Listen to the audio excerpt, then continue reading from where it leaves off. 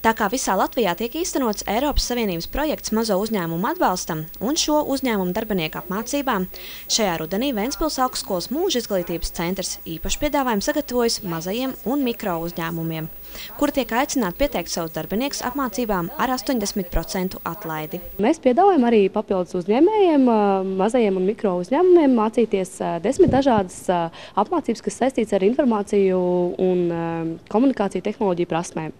Tās ietver arī dažādus Excel kursus, prezentāciju prasmes, lietvedību, e-komerciju, projektu vadību. Kopumā desmit dažādi kursi. Šobrīd mācību maksa vienam darbiniekam ir tikpat kā par velti, 10 lati plus PVN par vienu darbinieku par vienu kursu. Un šobrīd rudenī ir tāda akcija, kad uzņēmums, kurš jau ir pieteicies un jau apmeklējis kādu no kursiem, var ieteikt kādu citu uzņēmumu. Un tad, kad nāk šis otrs uzņēmums mācīties ieteicējam, kurs ir par brīvu. Kurzemes televīzijas filmēšanas grupa Ventspils mūža izglītības centrā viesojās, kad notika divu dienu kursi. Interneta iespējas uzņēmē darbības atbalstam un attīstībai.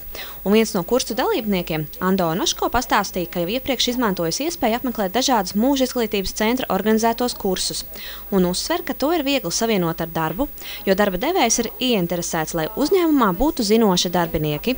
Tas, ko šeit māca, lietas, kas nodara praktiski katru dienu darbā, un tas tikai palīdz mūsu darbu pilnveidot. Par cik tās grupas nav tik lielas un tie uzņēmumi nav tik daudz, mēs cenšamies, protams, ar klientiem saskaņot, kad viņiem ir ērtāks laiks. Um, un, un parasti tās ir darba dienas. Tās var būt divas darba dienas. Kopumā 16 mācību stundas ir kursa klātienē. Un pēc tam darbiniekam ir iespēja mēnesi izmantot e-kursu kur viņš var pats sev vērtā laikā mācīties.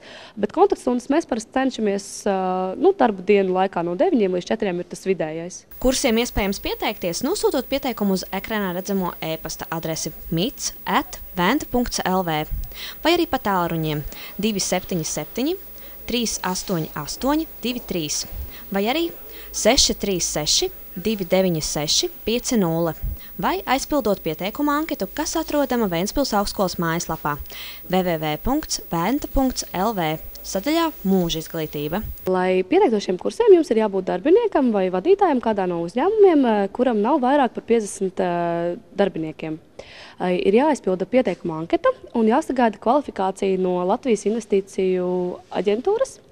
Tad, kad šī kvalifikācija ir veikta, kad ir noskaidrots, ka jūs darat šīm apmācībām, tad droši var sūtīt savus darbiniekus vai pats nākt un apmācīties. Dokuments var iesniegt visu laiku, līdz 14. gadam šis projekts norisinās, un pieteikums var pieteikt sev izdevīgā laikā, kad, kad ir iespēja vienkārši ieiet mājaslapā un, un pieteikties. Var zvanīt arī mums, un tad mēs šo pieteikšanos palīdzēsim veikt. Dalībnieku skaits apmācībām ir ierobežots. Tomēr, kā pastāstīja mūža izglītības centra speciāliste Elīna Krastiņa, visi kursi tiek organizēti atkārtoti.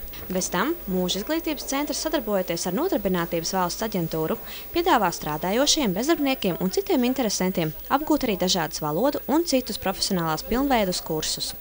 Zana Brikmane, Inžodziņš, Kurzemes televīzija.